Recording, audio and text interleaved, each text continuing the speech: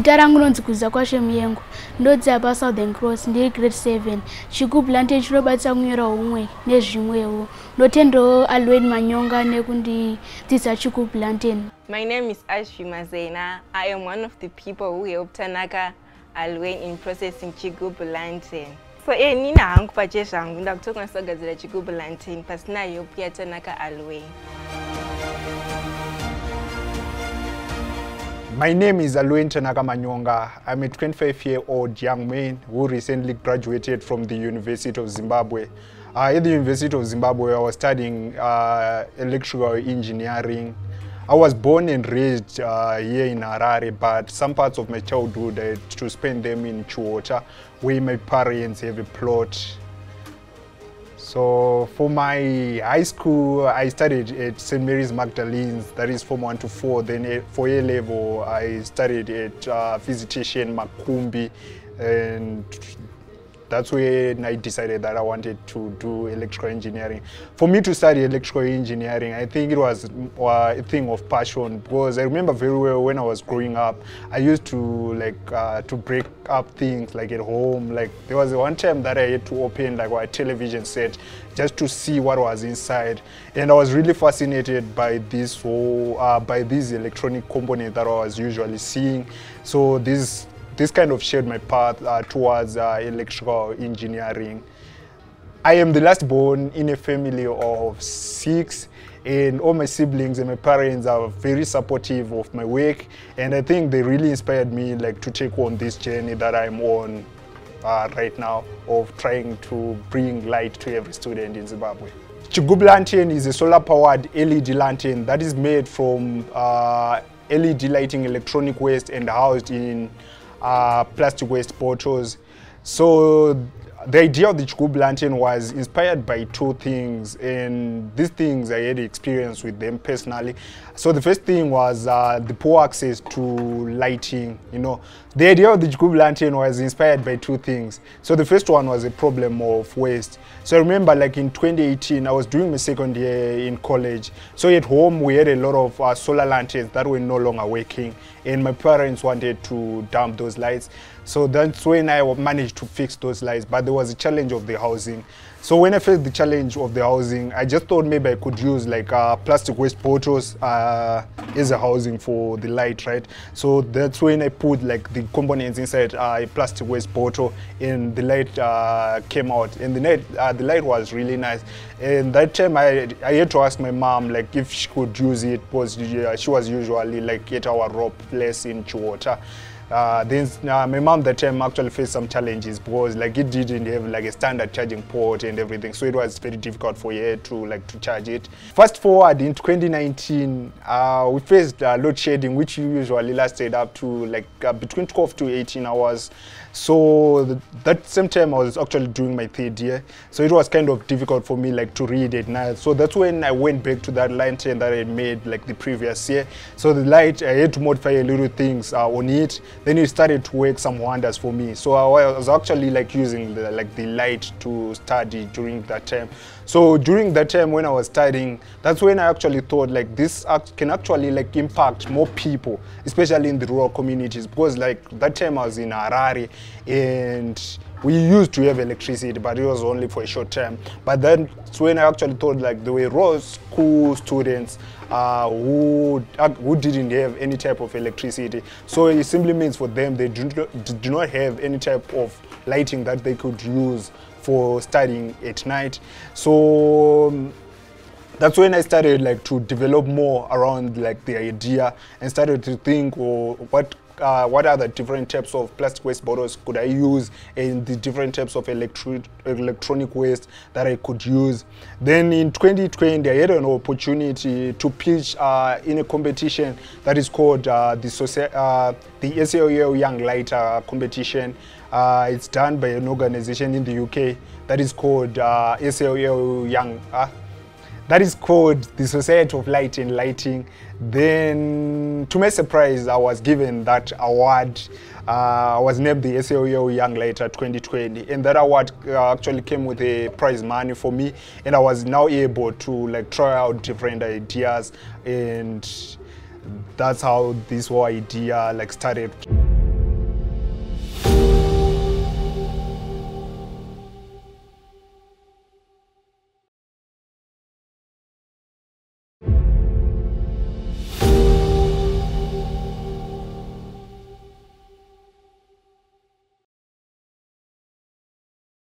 I was awarded the SLL Young Lighter 2020, and I got uh, like two trophies and also like uh, some money. So some part of that money I had to use it like to try to scale up my idea. That's when I was able like to try different types of containers for the school planting or even different types of uh, electronic waste uh, to settle for a particular container that could make our idea like work. Then in uh, in 2022, I was able like to register like my startup, which is called Zambezi Arc Technologies, uh, which is now like. Um, which is now now which is now pushing like the idea of the Chigoblantian. So the idea of the Chigoblantian is mainly focusing like on student and our vision is simply to ensure a light for every student because we have realized that lighting is very crucial for the education sector. So under this um, under this idea of trying to ensure a of, for every student, uh, we also like offer sustainable skills transfer to the students. So for the sustainable skills transfer, we have come up with a, a more comprehensive training where we train students uh, topics that are more related uh, to climate change. So we actually offer like the students a more comprehensive training which covers topics like uh, waste management, uh, like proper plastic waste and electronic waste management, uh, the circular economy, uh, the basics of electricity and renewable energy. And finally, they get to know how to make their own Chigob lantern. So the reason why we added this sustainable skills transfer to our idea was that we wanted uh, to create a lantern that would last longer.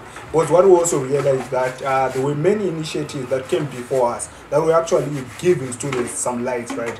So just imagine an organization would go to Binga and leave students with lights, right? But that was more for a short time because whenever those lights fail the students didn't uh, were simply going to dump those lights and they were now adding up to electronic waste. But with our idea we're actually now giving the students some skills that whenever we leave them with the lights they now have the skills that they can actually repair those lights. Chigub Lantern has been getting a positive response which has actually given us time like to work on improving the idea. So like when we started uh, last year in 2023 i think we managed to distribute a, a total of 500 lanterns and most of these were distributed like in schools where we're doing like trainings and some of them were just uh, distributed to individuals where we actually like just testing the idea just to see how it works and uh, that whole year we had great support from organizations like UNICEF through their Generation Unlimited program uh, that actually gave us a chance uh, to learn how we can operate like our social enterprise and give a bigger social a bigger social impact. Then this year this year uh, we had an opportunity to get support from the Australian aid. During the month of February, we were able to train 300 students in six schools and in each school 50 students benefit benefited from a sustainable skills transfer and also those students actually got some lanterns and for some of the schools that we have worked with uh, there's a school that is in Chiwota where I actually come from uh, they actually recorded an increased uh, an increase in their pass rate last year uh, for the students that were actually benefiting from the Chigublante. So this positive response has actually helped us uh, to carry on with this journey because we are actually like seeing some results of what lighting light uh, what the lantern can actually do into the lives of these students and then even for our sustainable skills transfer like we have also been training some students even here in the Budiriro 3 community and they are now have a, their behavior towards waste has actually changed and they are now uh, they now have a better understanding of of how they can manage, they can properly manage their waste. Instead of dumping their waste, they now know how they can reduce it, reuse it, or even recycle from the skill that we are actually giving them. Ndini mai vatanaka ndinofara nebasa raari kuita kubvira ari mudiki mwana uyo aingoratidza kuti ane njere. Rimwe zuva takatosvika avhura tv kuda kubata bata nokuda kuona kuti yakamira sei. Saka mwana akangokura aine njere. Grade seven yake akapasa zvakanaka form four yake akapasa zvakanaka form six akapasa zvakanaka. Akaenda kuyunivhesiti akapasa zvakanaka. Kubata bata kubva agadzira chigubhu akagadzira chichi five liter. Zvazi mama ndakugadzira irami ndikati ndiwagadzira shuwa akati ndii ndagadzira. Ah, raitombondinetsa ramberi ndikatozoona kuti ah akutogadzira zvigubhu akutobatsira muzvikoro. Saka mwana uyu akangokura aine njere tinotenda mwari nebasa rakatiitira nechipo chakatipa mukati memba yedu. Ari kuita zvakanaka chaizvo We're actually targeting to reach 6,000 students uh, with our lanterns, and we are looking forward to get more support from different organizations that would like to support uh, climate-related activities, and also like that organization that would want to support the improvement of the education sector. Uh, then in terms of our expansion plans, um, where last year we actually did some bit of trials like in South Africa and Zambia. Then this year we actually did the trials again because we had a lot of improvement that we had to make like on the lantern itself so this march we actually in south africa where we did train 100 students and the uh, the response that we actually got in south africa was also very positive. This is because our solution is actually addressing uh, problems that affect a lot of people on the African continent. Because from statistics it actually states that over 70% of the raw population in the whole of sub-Saharan Africa they do not have access to electricity. And among these there are millions of, millions of students uh, who do not have access to reliable lighting. So we believe that our solution can actually impact can have a greater impact even beyond the Zimbabwean borders. My electrical engineering background actually played a very crucial role for me like in this, uh, in building up this whole idea because uh, like from even from the basics of electricity that I was doing I was I was able to come up like with this concept. So uh, adding on to it right now, we are now even venturing into the whole renewable space management, where we are actually doing like solar installations, even electrical installations, even like offering services like lighting design. One of the challenges uh, that I faced during the inception of this stage was mainly like uh, not being able to access uh, some funds that I could use to like scale up this idea. Then the other thing was is that uh, like looking at our Zimbabwe environment, like I do not have access to certain things that I might need uh, to properly, like to fully develop like this idea, like access to machinery. So sometimes I end up like importing things from China or even South Africa. So this one is really is still a difficult thing because at some point it's very costly for me to import things since we are still starting out.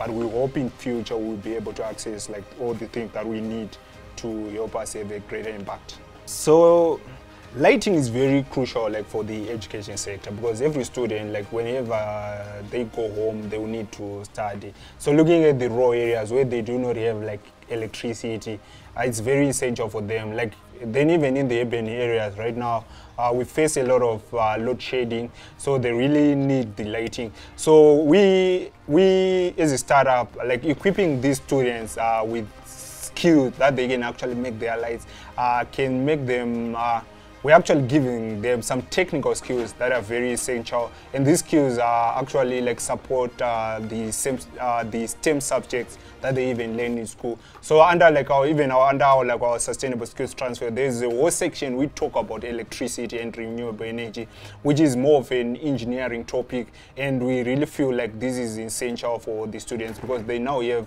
skills that they, they can apply in the real world. Then also looking in the on the issue of sustainability uh, the topic of climate change is a big topic right now because right now we are facing droughts, uh, we are not getting any rains. So for our education system, I think the Lantern is very crucial because it's also even try, trying to give the students a very, a very good practical example of what they can do with the waste that they have in their environments and they can actually become the change they are looking for.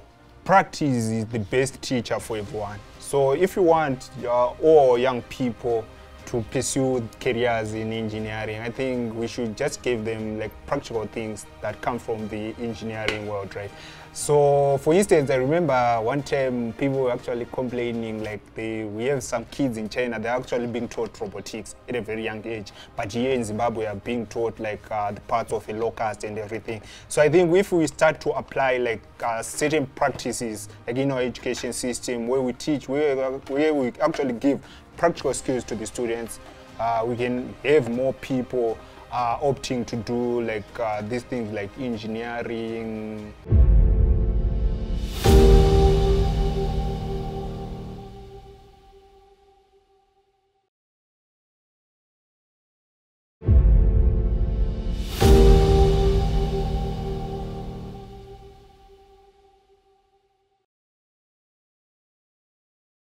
Ini ndinoitwa mai manyadza tinogara kuno kubudiriro 3 padhuze nepahighland shopping center tinoda kutenda nelight redu rechigubhu lantern ratiri kudoneterwa nemukomana wedu muyuthi wedu wemunharaunda medu alwin manyonga.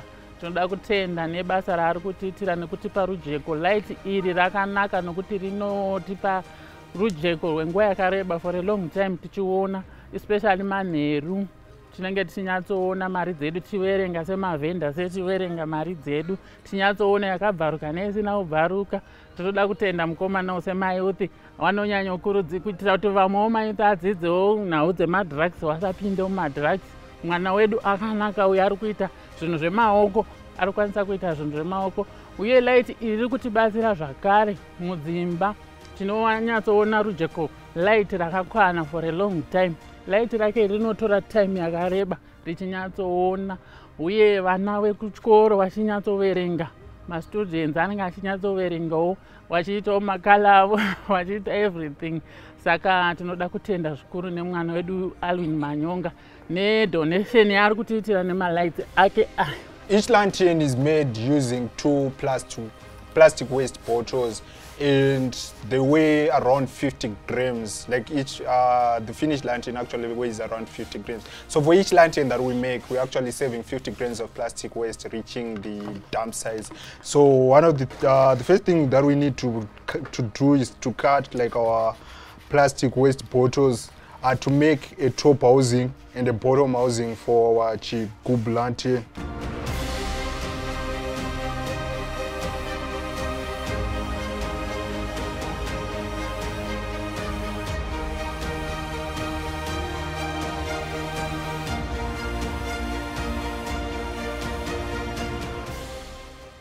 So after we cut them, we come up like with the top housing and the bottom housing. Which, so uh, then we actually also reuse LED lights, uh, LED lights. So usually when LED lights fail, people simply dump them, but we actually take and reuse them. So after like we have uh, processed our LED lights, we also reuse some cardboard boxes which are used for holding our LED lights. So we then need to test if our LED light is working before we do the final assembly of everything. So we simply need to test if the LED light is working. Then when we are done with the uh, with putting the LED light on the inside the container, we now need to do like the final assembly. So the Jigub the, the whole process of making the Jigub actually uses uh, like basic tools like our glue gun, soldering guns, and uh, some trim knives.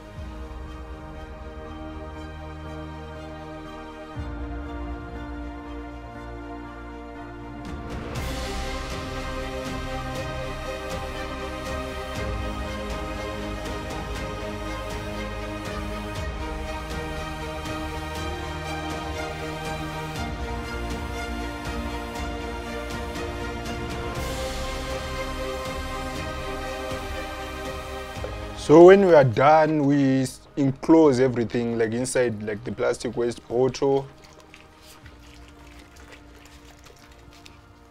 Then we simply run a test just to check if it's working before we finally close it.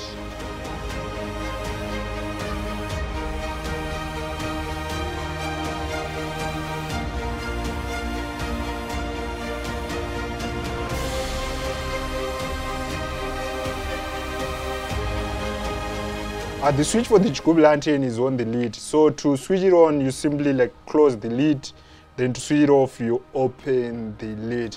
So the whole process of making the Jigub lantern is being simplified and we offer trainings like to schools where we go into the schools uh, with the toolkits that they need to make the Jigub lantern and they can actually do their own collection on their own then we help them like assemble like uh, the Chigubhu lantern. So even for the raw schools, we actually leave them with the tools. Recently, we came up with a new product that we call the Chiedza mobile solar kit, we, which we which we are deploying like in the schools that we do the training. So this one is a power station that they can use, and it's fully solar powered. So it doesn't matter whether the school has electricity or it does not have electricity. We're actually like providing them with more reliable power that uses solar energy.